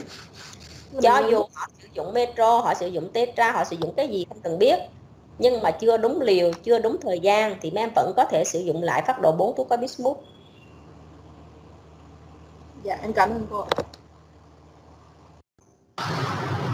dạ cô ơi cho em hỏi uh, sau khi mà điều trị HB con thường số bệnh nhân uh, là có viêm teo á cô hoặc là viêm dày mạng luôn con thì cái uh, BBI á cô mình hạn chế cái... hạn chế. Dạ. Khi có viêm teo chuyển sản loạn sản thì hạn chế PPI còn thiếu gì thuốc để uống? Tại sao phải sử dụng PPI tại PPI nó vô toan nó đẩy nguy cơ loạn sản chuyển sản tăng hơn. Trừ trường hợp mà bệnh nhân có trào ngược mà em thấy vẫn còn tăng tiết axit ở nóng vẫn còn ở chua thì em mới sử dụng PPI còn lại thì thông thường những tình huống này cô sẽ sử dụng sunrafat nếu cần thì sử dụng antacid nếu cần nữa thì sử dụng ức chế thụ thể H2 thôi hạn chế PPI nha. Thiếu gì thuốc để xài ha? Cái, nhưng mà cái đó là điều trị từng đợt thôi phải không cô? Chứ không mình không có cần phải liên tục liên tục kéo dài phải không cô? Điều trị cái gì từng đợt? Cái cái viêm cái triệu chứng viêm teo của bệnh nhân đó con kiểu à, mà bệnh nhân viêm về mạng nguyên tắc là viêm teo loạn sản chuyển sản thì nghiệm pylori nó không tiến triển nữa thôi chứ nó không có lùi lại được đâu khó lùi lại lắm. À vậy vậy là mấy người vậy là phải giống như là sống chung với nó luôn hả cô? Rồi nhưng mà khi diệt trừ H pylori rồi á thì cái nguy cơ tiến triển ung thư nó thấp nó giảm Thành ra cái người mà bị viêm teo chuyển sản loạn sản mà không có H. pylori là nguy cơ ung thư cao lắm. Nhưng mà cái những cái người đó mà có H. pylori á thì mình diệt H. pylori rồi á thì cái nguy cơ nó sẽ ngưng. Nó không có rất là mừng. Thành ra những ca nào mà viêm teo chuyển sản loạn sản là bằng mọi giá tìm cho ra HP và diệt. Đôi khi phải người ta bắt buộc mấy em phải làm hai test luôn. Tức là vừa làm test hơi thở vừa làm clo test luôn. Phải hai test âm tính luôn thì mới xác nhận nó là không có H. pylori vì những trường hợp mà đã là viêm teo chuyển sản loạn sản rồi có hai tình huống hoặc là em không diệt H pylori do không tìm ra thì nguy cơ tiến triển ung thư nó cao. Với tình huống thứ hai là thực sự nó không có nhiễm Helicobacter pylori á thì nguy cơ nó ung thư cao hơn so với cái người viêm teo chuyển sản loạn sản mà có H pylori mà đã diệt trừ rồi. Thành ra những cái tình huống đó là bằng mọi giá phải diệt cho được con HP còn nếu soi ra chỉ viêm sung huyết hoặc viêm phù nề gì thôi á, thì nếu mà diệt không được thì thôi kệ nó nha sống chung với nó hoặc là sau này mình sẽ tìm những cái phát đồ mới hơn. Sau này ta đang nghiên cứu rất là nhiều phát đồ.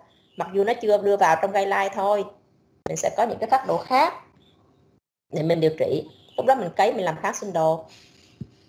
Và từ tôi điều trị biết bao nhiêu bệnh nhân chắc cả mấy ngàn bệnh nhân rồi á thì tôi chỉ gặp hai duy nhất hai bệnh nhân. Tới thời điểm này không diệt được H. pylori vì nó kháng kháng sinh đồ ra nó kháng sạch sẽ. Và bệnh nhân đó cuối cùng tôi phải, phải nhờ mua cái rifabutin ở nước ngoài về để trị cho bệnh nhân á chỉ có hai ca thôi là hai ca đó là là là không không trị được thôi còn hầu như là thành công hết. Và cái ca đó tại vì nó có viêm teo nó có viêm teo nên bằng mọi giá tôi phải diệt cho nó thôi vì nó trẻ lắm. Chứ còn những cái tình huống nếu không phải viêm teo tôi cũng chẳng cần trị cho nó đâu cứ để đó từ từ mình chuyển phát đồ sau này ra nhiều phát đồ mới mình trị cho nó sau.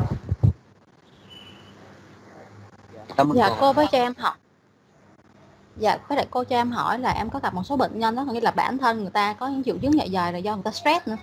Do stress rất là nhiều mà cũng bị nhiễm HP luôn, cho nên là họ cứ đợt điều trị hết HP đợt này á, xong rồi họ lại bị nhiễm HP đợt khác nữa. Thì những lúc đó mình phải tiếp tục điều trị HP hoài mà cô và mỗi lần mình điều trị cái vấn đề một đợt mới như vậy á, thì cứ đợt tại mình phải dặn bệnh nhân có thể là nó tái nhiễm hoặc nó tái phát nếu mình điều trị thành công rồi á, thì có thể nó là tái nhiễm thôi chứ không phải tái phát lại con cũ thì cái quan trọng là cái người này họ không có tuân thủ vấn đề em tư vấn vấn đề đừng có để lây nhiễm. Đi ra ngoài thì đừng có ăn lung tung ở ngoài sử dụng ống hút đừng có uống chung ly với ai hết. À, đó vệ sinh tay rửa tay sạch trước khi ăn ở nhà cũng vậy ăn. Chứ còn một cái tái đi tái lại là mấy người này hiếm khi mà gặp hiếm khi mà tôi gặp một ca nào mà tái lại lần thứ ba lắm. Tối đa là hai lần thôi.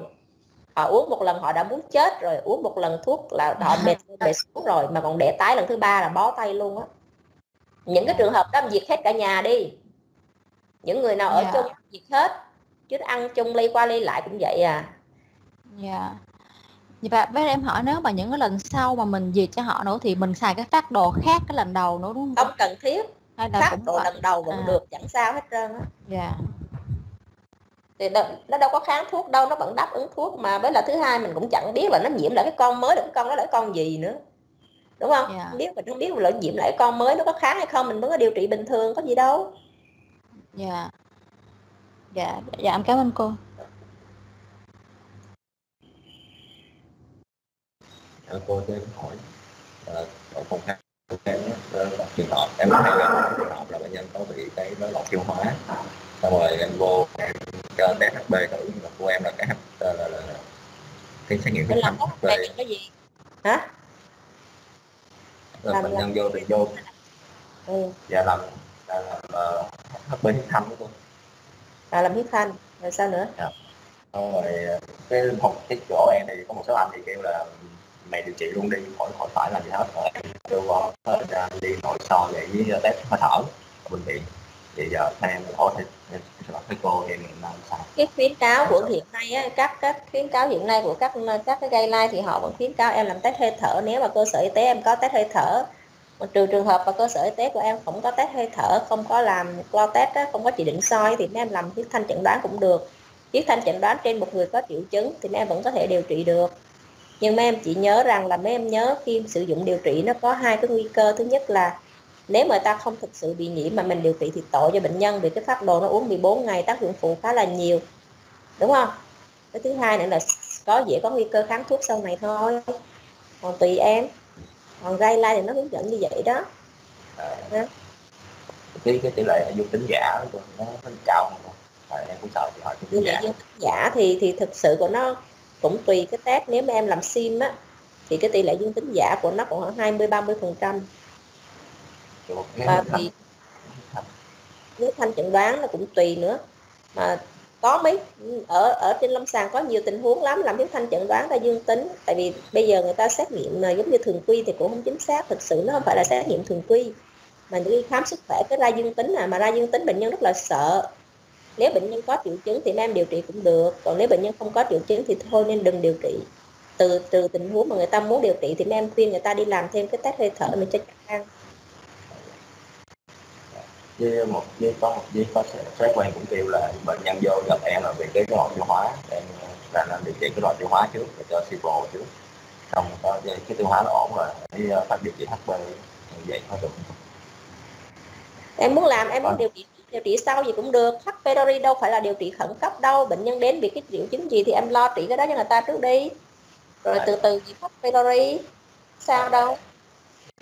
H. pylori đâu có khẩn cấp đâu đúng không dạ. Chỉ trừ trường hợp mà lép thôi lép có chảy máu thì ta khuyên mình là lép có chảy máu khi mà ổn định độ lép rồi thì khi ra viện nên sử dụng diệt H. pylori chứ còn những cái tình huống khác đâu có khẩn cấp đâu nhưng mà trước đó trước đó mình xài Cipro sau đó mình xài cái phát đồ không xài Cipro kệ nó em xài Cipro thì Cipro em phải ngưng thuốc đủ 4 tuần em kiểm tra lại H. pylori rồi em mới xài Cipro nó không có hiệu quả gì trong cái nghiên cứu gì trong cái điều trị H. pylori hết á nha dạ có một câu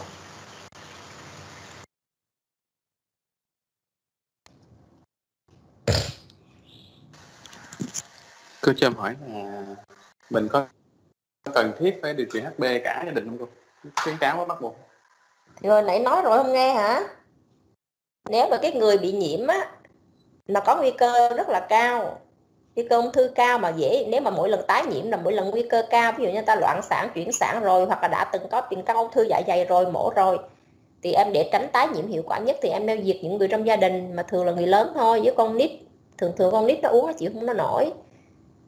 Nha thành ra con nít phải rất là cẩn thận, nhất là bố mẹ hay ăn đồ ăn thừa của con, phải dặn tới dặn lui là con cái là cái nguồn lây lại cho mình.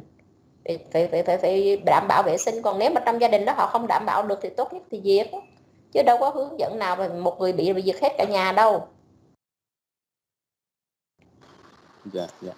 Vì mình thôi từ từng tình huống cụ thể nha.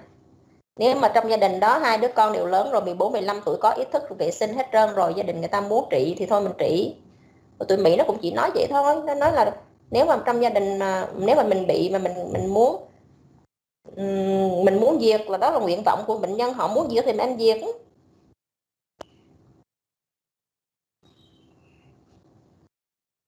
dạ dạ.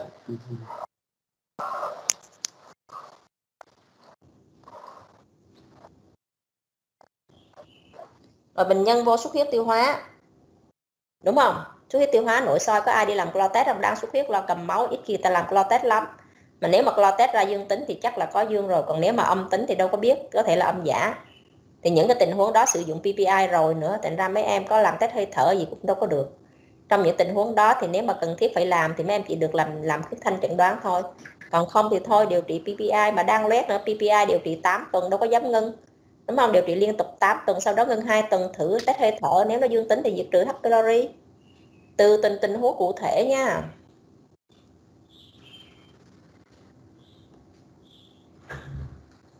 Còn nếu mà mấy em đang sử dụng kháng sinh, đang ờ, sử dụng PPI mà làm H pylori ra dương tính thì coi như dương tính mình sợ là mình sợ âm giả thôi.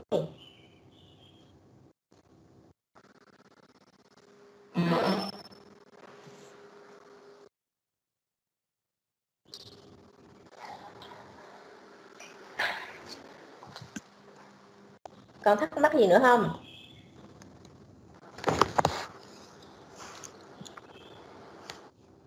Nếu không còn thắc mắc nữa thì mình nghỉ nha. Mình nghỉ rồi bữa nào cô sẽ dạy cho mấy em cái cách sử dụng thuốc ức chế bơm proton và những cái nguy cơ của nó. Nguy cơ khi sử dụng ức chế bơm proton kéo dài. Rồi sẽ có một cái bài nữa là tối ưu hóa vai trò của PPI trong điều trị H. pylori. Nói chung là về H. pylori nhiều bài lắm. Học được nhiều học. Cô còn rảnh thì cô còn dạy thêm cho. Rồi à, tuần sau tuần sau mình sẽ trình bệnh nha. Mình sẽ trình bệnh. Ừ, mình sẽ à, Ờ, à, có liên quan đến cái uh, viêm tụy cấp hôm bữa thì mấy em có đọc xong mấy em trả lời được hết chưa? Thứ nhất về nguyên nhân thì nguyên nhân thì người ta gọi là vô căn idiopathic ờ, uh, tức là vô căn chỉ khi trường hợp nào người ta làm EUS tức là nội soi siêu âm cộng với MRI E. MRI tức là siêu âm à, tức là MRI dựng hình đường mật mà không phát hiện sỏi á, thì mới gọi là vô căn thôi. Với là loại trừ thuốc loại trừ chấn thương loại trừ hết nguyên nhân khác ra có nguyên nhân tự miễn nữa. Mấy em nhớ là tại vì sỏi vi sỏi á, nó gọi là organ tức là ẩn á những cái vi sỏi nhỏ nó không phát hiện được bằng CT nó chỉ có thể phát hiện được là à, siêu âm nội soi hoặc là MRI dựng hình đường mật. Thì người ta nhận thấy rằng á, bằng hai phương pháp này người ta có thể phát hiện được nguyên nhân do sỏi trong những tình huống được chẩn đoán là viêm tụy cấp vô căn lên đến ba mươi mấy cho đến tám mươi mấy phần trăm. Cho đó cái ca của mình mình không có biết được là do cái gì là gì vậy đó mình đâu có làm tới đâu ha. Cái thứ hai nữa là cái trong cái phát đồ mà điều trị truyền dịch đó thì cái liều truyền dịch của mình đa số gây ra là từ 5 đến 10 ml bạc ký một giờ. 5 đến 10 ml bạc ký một giờ có một số ghi là 200 đến 250 ml giờ. Tương biết thầy bảo dạy em bao nhiêu. Và trong ngày đầu tiên 24 tiếng có mặc dù mức độ nhẹ thì cái lượng dịch của nó phải ít nhất là hai trăm rưỡi hai ngàn rưỡi cho đến bốn ngàn. Tức là hai hai lít rưỡi cho đến 4 lít một ngày phải đảm bảo dịch. Vì đảm bảo dịch dựa vào lâm sàng dựa vào cận lâm sàng. À, dựa vào cận lâm sàng thì em dựa vào HCT tại vì thiếu dịch thì HCT nó sẽ tăng do hiện tượng đông máu.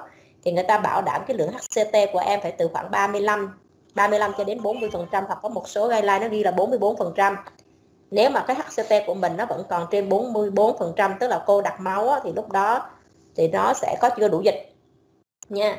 Dịch của nó dựa vào HCT không có để HCT dưới 35 thì người ta nhận thấy nếu mà em pha loạn nhanh quá nếu em truyền dịch nhiều quá thì nó cũng không có tốt giữ HCT trên 35% là được. Kế tiếp nữa là đánh giá nhiễm trùng. Đánh giá nhiễm trùng thì cái cái ờ, cái, cái gì đó? Cái CRP nó không có giá trị trong viêm tụy cấp. Vì trong viêm tụy cấp CRP nó tăng đặc biệt trên 150 thì nó là có giá trị trong tiên lượng của viêm tụy cấp á. Mà đánh giá nhiễm trùng trong viêm tụy cấp không dựa vào CRP và, và bạch cầu mà dựa vào procalcitonin. Rồi thêm cái nữa về đánh giá mức độ nặng của viêm tụy cấp thì mấy em dựa vào thứ nhất là dựa vào cái à, cái Atlanta Revive năm 2012 nhưng bây giờ nó đưa ra thêm một cái cái nữa là DCB DCB là determinant determinant à, base base classification of acute pancreatitis đó.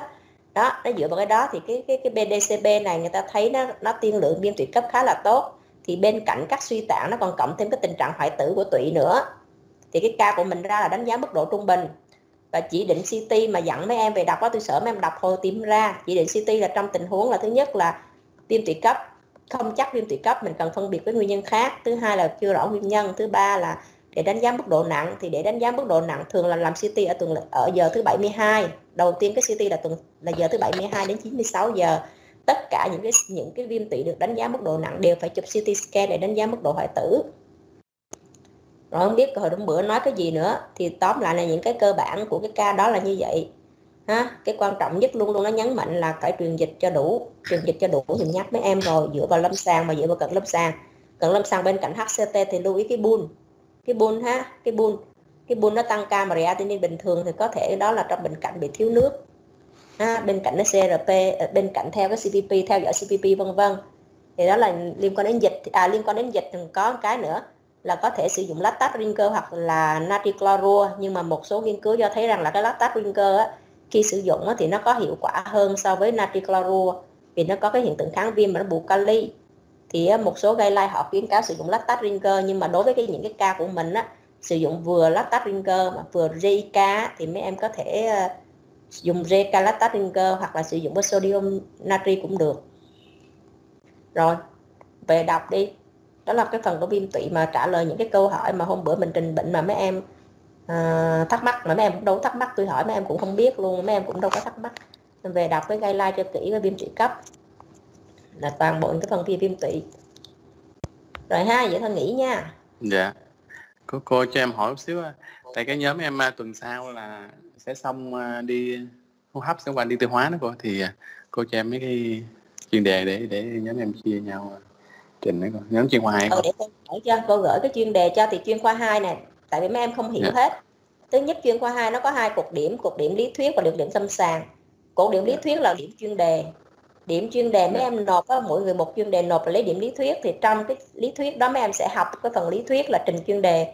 Thì những cái chuyên đề nằm ô tô màu đỏ á, là những chuyên đề soạn để trình. Còn những cái chuyên đề mà tô màu á, là cho mấy em đến mười mấy cái chuyên đề lẫn là những cái chuyên đề mấy em chỉ làm và nộp. Và quy định chuyên đề tương đáng lẽ là ở đại học y dược là 35 trang thì cho mấy em phép mấy em soạn từ 20 đến 25 trang thôi. Cái cái cái cái quy cách như thế nào tôi sẽ gửi cho mấy em luôn và nộp cho đàn hàng để lấy điểm lý thuyết còn điểm thực hành là hoàn toàn dựa vào lâm sàng trình bệnh nha trình bệnh án và khi thi sẽ thi thực hành lâm sàng.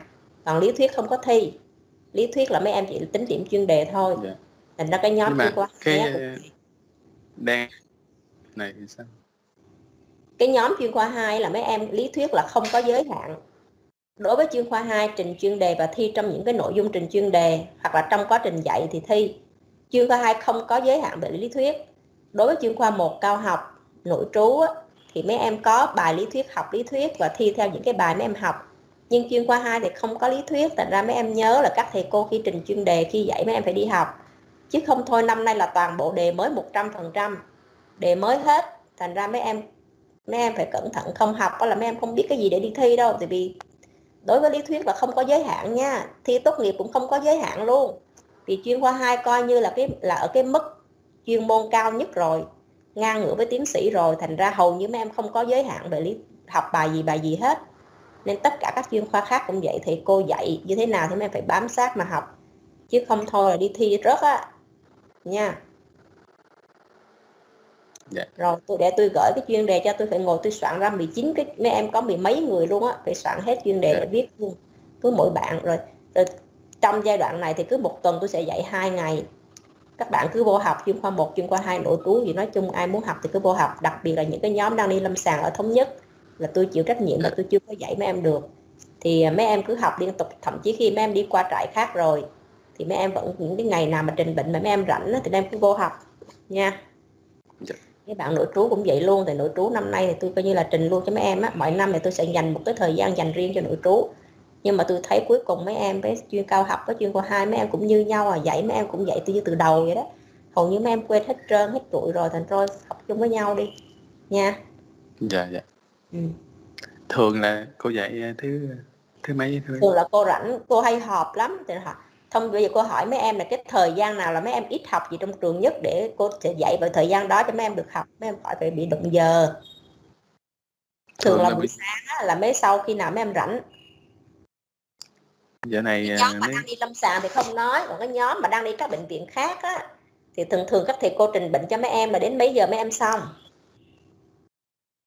Thường thì à, buổi sáng thôi con nhưng mà khoảng 9 à, giờ trở lên à? thầy trong trong trường mới rảnh mới trình chuyên đề. Hoặc là buổi chiều thôi thường buổi chiều thì đúng thường rồi. rảnh phải không? Dạ đúng rồi buổi chiều bạn rảnh nếu nếu nếu như vậy thì thường là mấy em sẽ học. Nếu mà đi chuyên khoa khác thì thường thường 9 10 giờ mấy em mới học phải không? Dạ. Không? Nếu vậy thì thôi mình sẽ học sớm. Học sớm nếu mà trình bệnh án hoặc trình chuyên đề á, thì nếu buổi sáng thì mình sẽ làm sớm hoặc 8 giờ mình làm. Ha. Để ví dụ như mấy em mà đang đi cao học chuyên khoa khác thì mấy em có thể vô nghe được. Còn buổi chiều thì thường thường mấy em còn học lý thuyết không? Hết lý thuyết chưa? Chiều hết rồi cao học nội trú hết ở cao học chuyên khoa 1 hết lý thuyết chưa? Dạ gần như là hết rồi cô. Dạ, cũng gần hết rồi cô còn có một hai bài nữa rồi cô ơi ừ nếu vậy thì không thì cô giờ làm buổi chiều hết cho tránh buổi sáng dạ. thì buổi sáng em có thể đi các khoa khác em trình bệnh trừ cái nhóm chuyên khoa 2 nhưng mà cái chuyên khoa 2 khi trình chuyên đề thì các bạn vô học luôn cao học nội trú vô học luôn. Nếu mấy em thích để chuyên khoa 2 sẽ trình những cái chuyên đề rất là gần gũi với mấy em. Ví dụ như vấn đề sử dụng thuốc giảm đau trên bệnh nhân có gan như thế nào nè vấn đề sử dụng uh, chuẩn bị bệnh nhân phẫu thuật trên bệnh nhân bệnh gan ra sao là những cái vấn đề cũng rất là gần. Thực sự ra các anh chị chuyên khoa 2 so với nội trú ở chuyên khoa một cao học cũng giống như nhau à. Mấy em cũng không biết y như nhau vậy đó. Không có hơn ai hơn ai gì hết. tôi dạy bao nhiêu năm mấy chục năm tôi thấy có y chang nhau vậy đó. Thành ra vô học chung học được nhiều hai cái đó. Trước mắt thì có lợi cho mình để mình cho bệnh cho cái người nhà của mình trước để mà hy vọng mấy em điều trị cho bệnh nhân thì rất là khó. Trừ những trường hợp mấy em đi chuyên khoa tiêu hóa thôi hoặc là trị những cái đơn giản gợt ha những cái gợt những cái bệnh lý thường gặp thì tôi sẽ dạy cho mấy em. À, chuyên khoa 2 sẽ trình cái gợt đầu tiên cho hết trong trong có chuyên khoa 2 khi cô gửi chuyên đề cô đều ghi những cái bài để mấy em tham khảo. Mấy em bám sát những bài đó để soạn chuyên đề. Thì yêu cầu của chuyên khoa 2 khi soạn chuyên đề không bắt buộc phải dịch sang tiếng Việt. Lấy nguyên tiếng Anh trình luôn nha lợi. Nói với bạn yeah, lấy nguyên yeah, tiếng Anh cắt dán lên trình cho nó nhanh tại vì khi yeah. em trình tôi còn phải sửa rất là nhiều nữa rồi những cái gì mà tôi cho bài ví dụ tôi nói là trình cái bài này thì tài liệu tham khảo là cái gì thì bám sát những cái đó chứ không có ngồi mà không phải lên trên mạng là lấy nguyên của bài của người ta viết tùm lum tà la cuối cùng không học được cái gì đâu yeah. trình nguyên bằng tiếng Anh lên bằng tiếng Anh luôn cho nó khỏe khỏi bị mất công dịch xa mất thời gian yeah. thì nội trong ngày hôm nay hoặc ngày mai tôi sẽ gửi cho mấy em cái chuyên đề qua cái thì rất qua Zalo ha ừ. rồi mấy bạn tự chọn nhau tự phân công nhau nha. Ừ. dạ, dạ, dạ. chuyên đề nào khó quá thì giao cho những người chuyên khoa tiêu hóa họ làm. Những cái chuyên đề thông thường mà mình thấy là à, thuận lợi cho mình. Trong đó có những cái chuyên đề liên quan ví dụ như là tổn thương phổi trên bệnh nhân sơ gan thì những cái bạn là chuyên khoa về hô hấp nên chọn những cái chuyên đề đó.